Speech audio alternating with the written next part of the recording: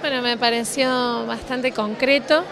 con mucho trabajo por delante, por lo cual, bueno, vamos a desde la Defensoría indicar justamente todo lo, que vayamos viendo que va fallando en la realidad y por qué no aquello que está bien también remarcarlo.